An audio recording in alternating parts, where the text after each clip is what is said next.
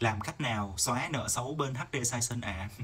không chỉ riêng HD Station mà đối với những công ty tài chính và đặc biệt là những cái app hoặc là những cái ứng dụng những cái ví trả sau nào mà có cập nhật lên trung tâm CIC mọi người thì chắc chắn là chúng ta không thể nào can thiệp để mà xóa được cái lịch sử tín dụng xóa cái lịch sử nợ xấu được.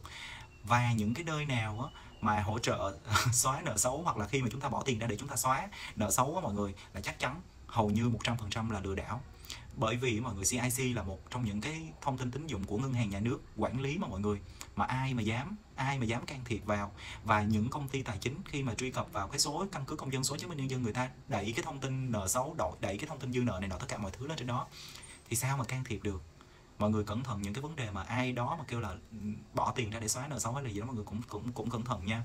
Và không có cái dịch vụ nào mà có thể xóa nợ xấu được. Nợ xấu muốn muốn xóa hoặc là muốn không tra cứu tới là chúng ta phải thanh lý những cái khoản nợ đó. Và trong tương lai, ví dụ như 5 năm, hầu như những công ty tài chính là 5 năm á, họ sẽ không tra cứu tới cái tầm đó nữa, thì có thể họ sẽ hỗ trợ cho mình những cái khoản vay mới. Còn cái chuyện mà xóa nợ xấu thì mọi người ơi, nhớ cẩn thận, đừng có mình, đừng có để mình bị lừa nha. Cảm ơn mọi người rất nhiều.